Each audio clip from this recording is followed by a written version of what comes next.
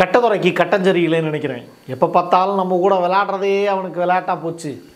எட்ரா வண்டியை அப்படிங்கிற கதையா ஜெயக்குமாரை வச்சு வண்டியை கிளப்பிட்டு போயிட்டு இருக்காரு எடப்பாடி பழனிசாமி எங்கே போகிறாரு அப்படின்னு பார்த்தா நம்ம பாஜக ஆஃபீஸுக்கு தான்.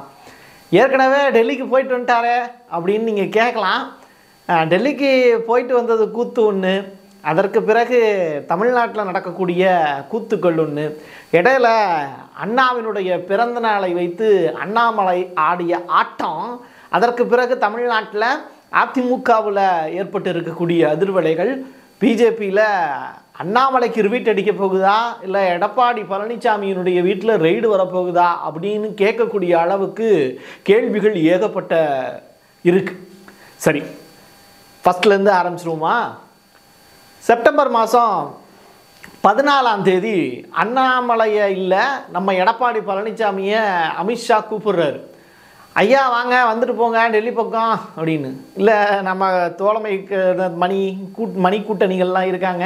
அவங்களோடலாம் வந்துடவா அப்படின்னு கேட்டிருக்காரு. இல்லை நீங்கள் மட்டும் தனியாக வாங்க அப்படின்னு.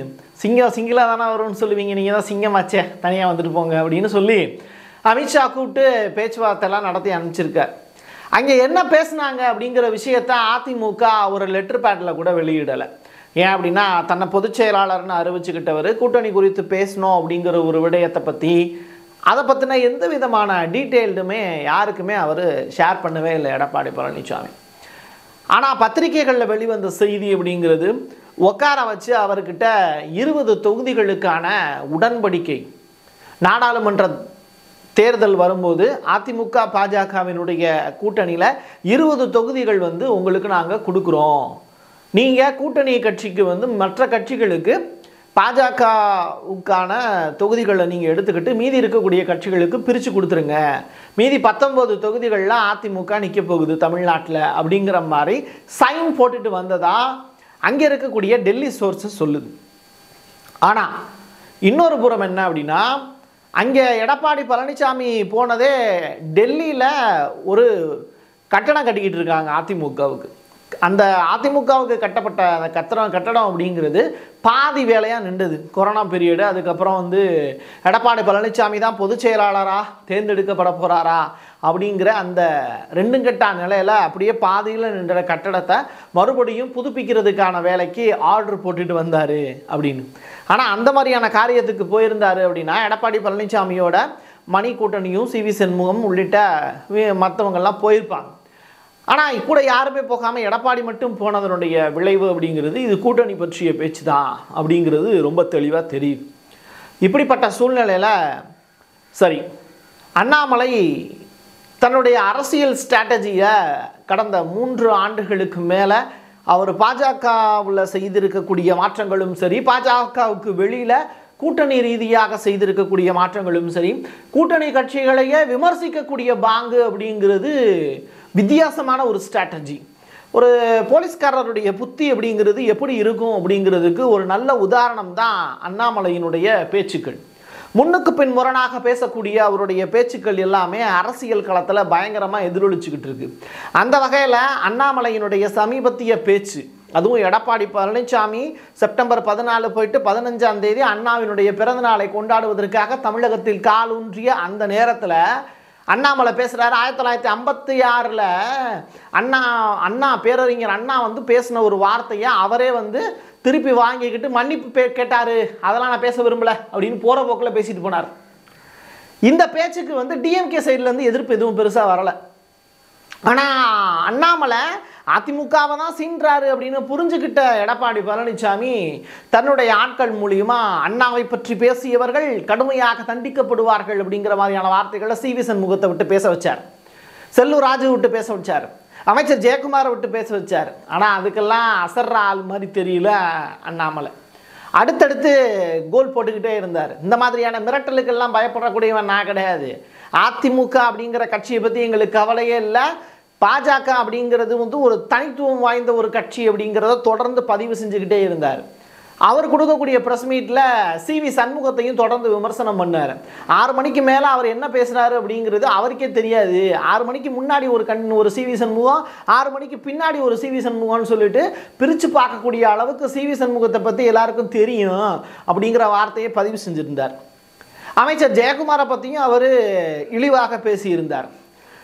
என்னண்ணே உங்களை பற்றியும் பேசியிருந்தாரா? அப்படின்னு நீங்கள் கேட்கலாம். ஆமாம் என்னை பற்றி ரொம்ப கேவலமாக பேசினார் அப்படிங்கிற கதையாக அமைச்சர் ஜெயக்குமாரெல்லாம் கழுவி கழுவி ஊற்றுனார் ஸோ வந்து இப்படி போயிட்டு இருந்துச்சு நிலமை. இப்படிப்பட்ட சூழ்நிலை தான் அமைச்சர் ஜெயக்குமார் இன்னைக்கு ஒரு பேட்டி கொடுத்துருக்காரு. இந்த பேட்டி ரொம்ப முக்கியமான பேட்டி. அந்த பேட்டியில் சொல்லப்பட்ட விஷயங்களும் ரொம்ப அரசியல் களத்தில் விவாதிக்கப்பட வேண்டிய ஒரு விடயமாக மாறி போயிருக்கு. அது பாஜகவினுடைய தலைமைக்கு எதிராக சொல்லப்பட்ட வார்த்தையா? அண்ணாமலையை தூக்குனீங்க அப்படின்னா பாஜகவோட கூட்டணி அப்படிங்கிறதுக்கான மறைமுகமான தூதா அப்படிங்கிறது தான் கொஸ்டின் மார்க் சரி ஜெயக்குமார் என்ன பேசினார்? பாஜகவோட இனிமேல் கூட்டணி கிடையாது. எலெக்ஷன் வர்ற நேரத்தில் பார்த்துக்கலாம். இப்போதைக்கு கூட்டணி கிடையாதுங்கிறத நாங்கள் ஓப்பன் டாக்க பேசுகிறோம் ஏன் அப்படின்னா அண்ணாமலையினுடைய வாய்க்கொழுப்புங்கிறது அடங்கவே இல்லை.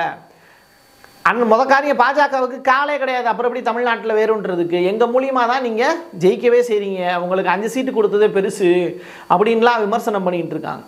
ஸோ டபுள் டிஜிட் அப்படிங்கிற அந்த இதில் கூட உங்களால் நிற்க முடியாது. ஏன்? வந்து நாற்பது தொகுதி ஃப்ரீயாக தானே நிற்கிது எங்கள் கூட வந்து ஏன் கூட்டணி விற்கிறீங்க நீங்கள் தனியாக போய் நிற்க வேண்டியதானே அப்படின்னு அமைச்சர் ஜெயக்குமார் பேசிய பேச்சுக்கள் அப்படிங்கிறது பாஜக ரொம்ப உன்னிப்பாக கவனிச்சுக்கிட்டு இருக்கு. அதே நேரத்தில் இனிமேல் அதிமுகவினுடைய ஐடி விங் சும்மா இருக்காது. அண்ணாமலையை ட்ரோல் பண்ணுறது தான் இனிமேல் எங்களுடைய அடுத்த கட்ட வேலை. அது மட்டும் இல்லாமல் பாஜகவினுடைய தலைமைக்கு நாங்கள் சொல்லியிருக்கோம். கூட்டணி கட்சியில் இப்போ என்டிஏ கூட்டியில் நாங்கள் இருக்கோம் அப்படிங்கிற ஒரே காரணத்தினால மட்டும்தான் அண்ணாமலையை நாங்கள் பொறுமையாக சகிச்சுக்கிட்டு இருக்கோம். மற்ற கட்சிகள்லாம் பாருங்கள் ஒரு கூட்டணிக்குள்ளே ஒன்றா இருக்காங்க அப்படின்னா கூட்டணி கட்சிகளை விமர்சனம் பண்ண மாட்டாங்க. ஆனால் அண்ணாமலை தன்னுடைய தனித்தன்மையை நிரூபிக்கணுங்கிறதுக்காகவும் தான் தான் பெருசாக பெரிய ஆள் அப்படிங்கிறத சொல்கிறதுக்காகவும் இந்த மாதிரியான சேட்டைகள்லாம் செஞ்சுக்கிட்டு இருக்காரு.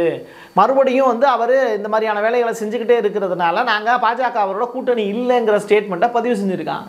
இதிலிருந்து அமைச்சர் ஜெயக்குமார் சொல்லக்கூடிய விஷயம் அப்படிங்கிறது பாஜகவோட அவங்களுக்கு வந்து ஒரு பெரிய நெருக்கடிலாம் ஒன்றும் கிடையாது. அவங்களுக்குள்ள வந்து நல்லுறவு தான் இருக்குது தலைமை அதை விரும்புதான்.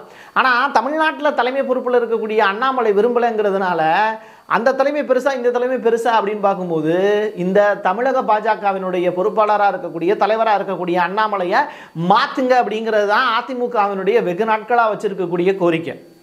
எனக்கு சீட்டை கூட வந்து இருபதுக்கு முப்பது சீட்டாக கூட வாங்கிக்கோ ஆனால் அண்ணாமலையை போஸ்டிங்லேருந்து தூக்கு அப்படிங்கிறது தான் இங்கே எடப்பாடி பழனிசாமி அண்டு கோ அவங்க இந்த டீமோட ஒட்டுமொத்த கோரிக்கையாகவும் இருக்குது இதுக்கு பாஜக சம்மதிக்க மாட்டேங்குது. அண்ணாமலையை வச்சு தான் தூண்டி விட்டு தான் ஏகப்பட்ட வேலைகளை செஞ்சுக்கிட்டு இருக்காங்க. ஒரு புறம் இதுக்கு கோவப்பட வேண்டியது அண்ணாவை பற்றி கோ பேசுனதுக்கு கோவப்பட வேண்டியது திமுக தான். ஆனால் செந்தில் பாலாஜி விஷயத்திலேயே வாயடைச்சு போய் நிற்கிறதுனால திமுக சைடில் எந்த விதமான எதிர் ஸ்டேட்மெண்ட்டுமே பாஜகவை பற்றி பெரிய அளவில் பேசலை. சனாதனம் அப்படிங்கிற ஒரு வார்த்தையை மட்டும் தூண்டிவிட்டு உதயநிதி ஸ்டாலின் தேசிய அளவில் பிரபலமாயிட்டார். அதனால் அண்ணாவை பற்றி பேசுகிறத பற்றியோ அண்ணா அப்படிங்கிற வார்த்தையை வந்து தன்னுடைய வார்த்தையாகவோ திமுக எடுத்துக்கல. மாறாக அண்ணாமலை எதை நோக்கி அண்ணாவை பற்றி தவறாக பேசியிருக்காரு அப்படிங்கிறத திமுக தெளிவாக புரிந்து கொண்டு இந்த விடயத்திலிருந்து விலகிச்சு. மாறாக அண்ணாவை பற்றி தவறாக பேசுனதுனால அண்ணா திமுகங்கிற கட்சியை வச்சுக்கிட்டே அண்ணாவை பற்றி கேவலமாக பேசுகிறத பார்த்துக்கிட்டு இருக்க முடியாது அப்படிங்கிறதுனால வரிஞ்சு கட்டி சண்டைக்கு போச்சு அதிமுக. ஆனால் தாங்கிட்ட இருக்கக்கூடிய வசமான ஆயுதங்களை வச்சு ஓங்கி தலையில் சம்மட்டியால் நங்கு நங்கு நங்கு நங்குன்னு அடித்து உட்கார வச்சிருக்கு பாஜக அதிமுகவை. இப்படிப்பட்ட சூழ்நிலையில் நானும் வீரன் தான் அப்படின்னு சொல்லிட்டு எந்திரிச்சு சண்டை போடுறதுக்கு முயற்சி பண்ணி பாஜகவோட நாங்கள் கூட்டணியே கிடையாது அப்படின்னு பகிரங்கமாக ஒரு அறிவிப்பு கொடுத்துருக்காங்க. இந்த அறிவிப்புக்கு நெகட்டிவான ஒரு ஃபீட்பேக் கிடைக்குமா? பாசிட்டிவான ஃபீட்பேக் கிடைக்குமான்னு அடுத்த ரெண்டு மூன்று நாட்களுக்குள்ளே தெரிஞ்சிடும் ஈடி வரப்போதா? இல்லை இடம் அடம் அண்ணாமலைக்கு வந்து ரிவிட் அடிக்க போகிறாங்களா பாஜக அப்படிங்கிறது அடுத்தடுத்த கேள்விகள் இருக்குது இவங்களுக்கெல்லாம் ஈடி வரணுமா? நம்ம ஃபோன் பண்ணி பேசினா போதாதா அப்படின்னு பாஜக நினைக்கலாம். இல்லை அண்ணாமலையை வச்சே இந்த விஷயத்தை சரிப்படுத்தலாம் இல்லை அதிமுக தான் முக்கியம் அப்படின்னு நினச்சி பாஜகவினுடைய தன்னுடைய காலை தானே வாரி விடக்கூடிய வேலையை அண்ணாமலையும் போஸ்டிங்கை விட்டு தூக்கலாம். ஆனால் இந்த மூணு சாய்ஸில் வந்து பாஜக எடுக்கக்கூடிய ஒரு சாய்ஸ் அப்படிங்கிறது எதுவாக இருக்கும்னு நம்மளுடைய சைட்லேருந்து நம்ம சொல்ல வேண்டிய விஷயம் அப்படிங்கிறது கண்டிப்பாக சமரச பேச்சுவார்த்தைகள் மூலியமாக இதை சாமர்த்தியமாக சமாளிக்கும் பாஜக அப்படின்னு. பேசி பேசியே ஆட்சியை பிடிச்சவங்க தானே. அதனால் இதெல்லாம் சமாளிக்க மாட்டாங்களா என்ன அப்படிங்கிறதையும் மக்களுக்கு சொல்ல வேண்டியது இருக்குது உங்களுக்கு எனக்கும் நிறையா வேலைகள் வேலைகள் இருக்கும். அதனால் நம்ம அந்த வேலையை பார்ப்போம். இவங்க அடிச்சுக்கிட்டு நாடுறது மட்டும்தான் இவங்களுடைய வேலை. ஏன் அப்படின்னா மக்களுக்காக சிந்திக்கக்கூடிய வேலையெல்லாம் இவங்க செய்ய மாட்டாங்க. இவங்க அரசியல் பிழைப்போருக்கு அறம் கூற்றாகுங்கிற வார்த்தைக்கு ஏற்ற மாதிரியான மனிதர்கள்லாம் இவங்க கிடையாது. இவங்க வந்து அதன் மூலிமா எப்படி பணம் சம்பாதிக்கணும் அப்படிங்கிறது மட்டும்தான். ஸோ அரசியல் காழ்ப்புணர்ச்சி காரணமாக இவர்கள் பேசியக்கூடிய பேச்சுக்கள் அரசியல் விளையாட்டுக்கள் தானே தவிர மக்கள் பயன்பாட்டுக்காக இல்லைங்கிறத மட்டும் மக்கள் புரிஞ்சுக்கிட்டாங்க அப்படின்னா போதுமானது தான் இதையே உங்கள்கிட்ட வந்து சொல்கிறேன்னா என் கையெழுத்து என் மக்களுக்கானது. மீண்டும் ஒரு பதிவில் சந்திக்கலாம். நன்றி வணக்கம்.